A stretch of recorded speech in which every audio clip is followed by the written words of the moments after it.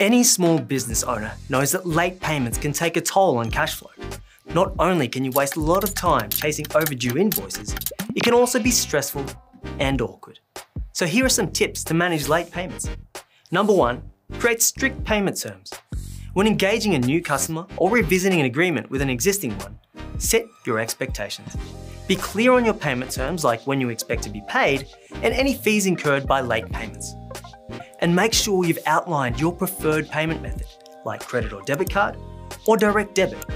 Here's a hot tip. Connect to a payment service provider that integrates with Xero. This will add a Pay Now button to your invoices, helping you to get paid faster and spend less time chasing payments. Number two, set a credit limit. This will alert you to stop work or pause order fulfillments or have a conversation when your customer exceeds their credit limit.